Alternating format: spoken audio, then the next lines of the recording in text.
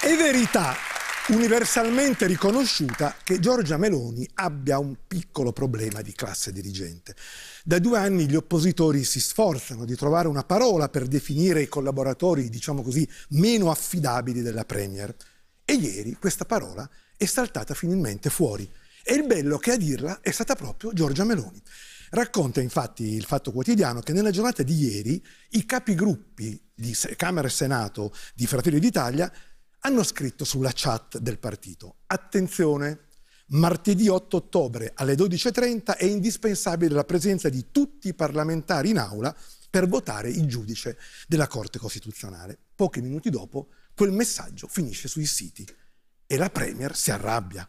O se si arrabbia, alle 16.17 scrive nella chat io alla fine mollerò per questo, perché fare sta vita per eleggere sta gente, anche no, l'infamia di pochi, l'infamia, mi costringerà a non avere più rapporti coi gruppi. Interviene il ministro della difesa Crosetto. Beh, lavorandoci un po', gli infami o l'infame si trova. E la Meloni aggiunge però amara. C'è gente che per una citazione sul giornale si vende la madre.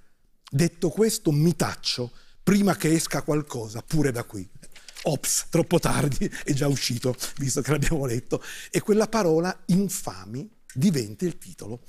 Certo, dare dell'infame a uno o più dei fratelli d'Italia è davvero un'accusa molto pesante, ma d'altronde chi siamo noi per contraddire un Presidente del Consiglio? In collegamento da Milano, il nostro canta